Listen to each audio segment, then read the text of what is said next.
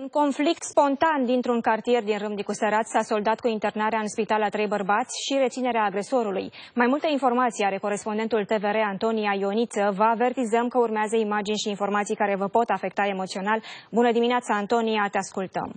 Bun găsit, Laura. Conflictul uh, ar fi pornit în uh, locuința unuia dintre agresori. Acolo se afla și victima. Uh, oamenii au stat să bea uh, au consumat băuturi alcoolice, uh, s-au luat la harță, conflictul s-a mutat în stradă, unde doi frați uh, uh, s-au, uh, s-au năpustit cu topoare și bâte asupra bărbatului care era invitat la ei și cu care au avut uh, conflictul.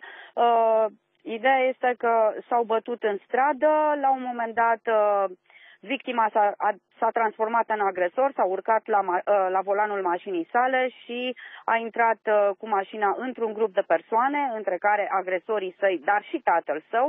În urma acestui ă, conflict, trei persoane, bărbați cu vârste de 14, 20 și 39 de ani, au fost luați cu ambulanțele și au ajuns la Spitalul Județean de Urgență Buzău, unde au rămas internați doi dintre ei pe secțiile de chirurgie ortopedică și chirurgie plastică. Cel de-al treilea de 39 de ani a fost transportat la Spitalul Floreasca.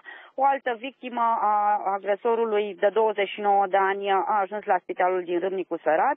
Uh, bărbatul care a intrat cu mașina în uh, grupul de persoane a fost reținut aseară inițial pentru uh, tulburarea liniștii publice, însă din cauza faptului că victimele sale au fost rănite la față, picioare, mâini, Uh, infracțiunea pentru care el este reținut acum în arestul poliției uh, s-a transformat în tentativă de omor. Uh, cazul a fost preluat de parchetul de pe lângă judecătoria Râmnicu Sărat și urmează astăzi să aflăm mai multe detalii despre ce s-a întâmplat aseară. Deocamdată acestea sunt informațiile.